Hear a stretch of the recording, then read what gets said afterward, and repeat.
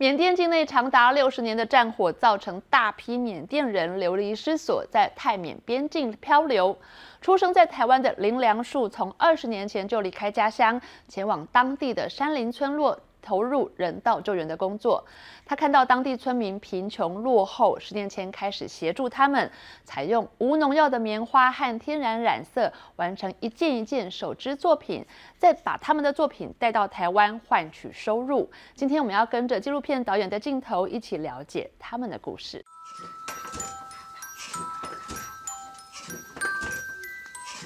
林良树的故事就从这个泰缅边境的小村落悄悄展开。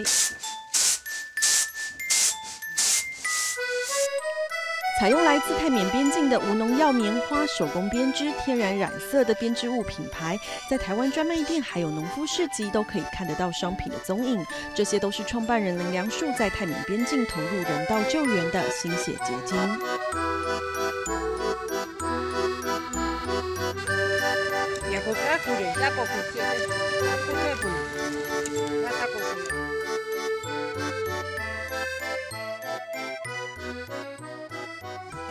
老爷爷问说：“这个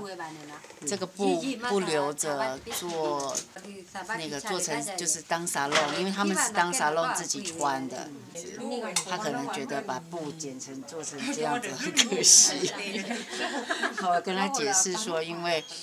因为外面的人是不穿沙龙的，所以如果我只卖沙龙。”让人家买去穿，可能一年卖不到两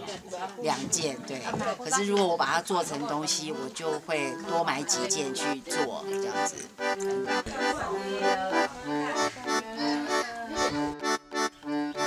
二十多年前离开家乡台湾，来到就连 Google 地图都无法显示的偏远村落，全力投入援助发展工作。林良树十年前开始借由编织协助当地妇女生计，再将他们的作品带下山，为他们换取更多的收入。